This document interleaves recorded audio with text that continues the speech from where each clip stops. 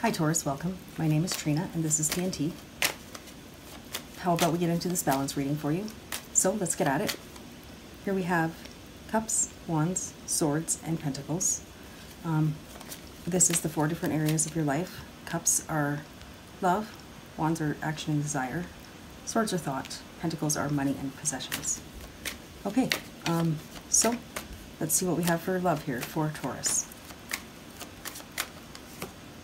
Star,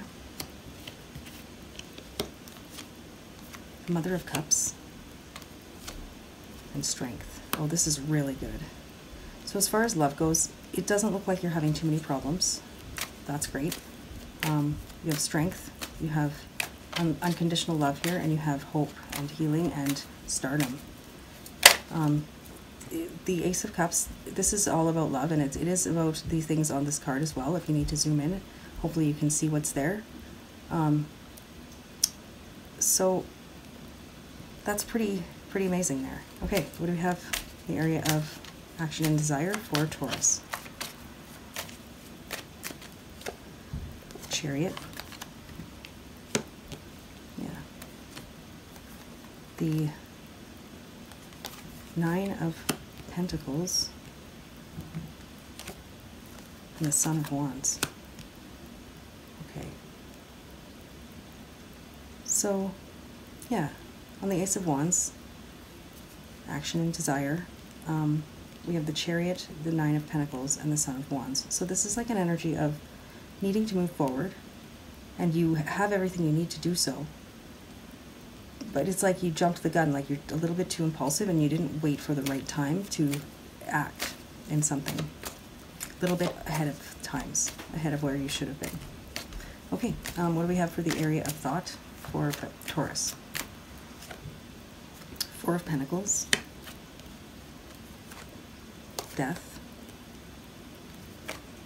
and the Mother of Swords. Okay, it's not as bad as it looks. um, people get scared of the Death card sometimes. Anyway, um, so as far as the area of thought in your life goes here, Taurus, um, it's it's like you're keeping your thoughts to yourself and you're not you're not letting go of the thoughts you need to let go of. You're like it's like you're hoarding them for yourself. At least you are seeing the truth here and if you're not currently you will see the truth of the matter shortly. And you'll you'll see what i'm explaining to you here. Okay um, what do we have for the area of money and possessions for taurus? We have the nine of swords the Father of Pentacles, and the Three of Swords. Well, that's really, that's not a great energy. So we have fear and anxiety, manifesting loss here. You're manifesting loss with your fear and anxiety here. Okay, how did that going around? Um, we have some advice for the area of love for Taurus. Advice for love for Taurus. Okay, we have the Ten of the Ten of Wands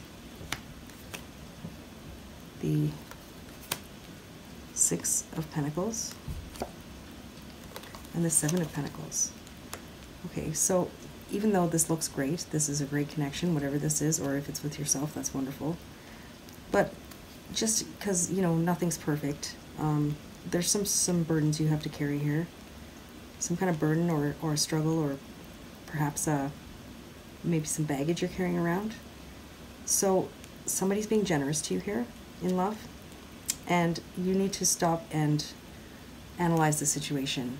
Stop and, and take a look at the situation and fix what needs to be fixed and tweak what needs to be tweaked there. Okay, um, what else? What else, What do we have for advice in the area of action and desire for Taurus? The Daughter of Swords, the Father of Cups,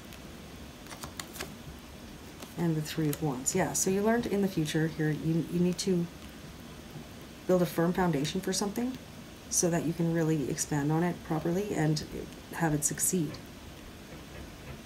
Um, luckily, you are emotionally stable here, feeling emotionally stable anyways, um, feeling in control in that area of your life here um, in, to deal with this. Okay, what do we have in the area of advice for thought for Taurus? The Empress, the Four of Swords, and the Five of Cups. Okay. So here, like you're still keeping it to yourself, but you do start to regret it somewhere along the way and wish you had expressed what you needed to express with it because now it's probably too late. Um, so it's it's good to just move on here. Okay, sorry about that. Um, let's see. What do we have for advice in the area of Pentacles for Taurus? Um, the Five of Wands, Seven of Swords, and the Magician. Yeah, okay, well, that's this Magician is good here with these cards.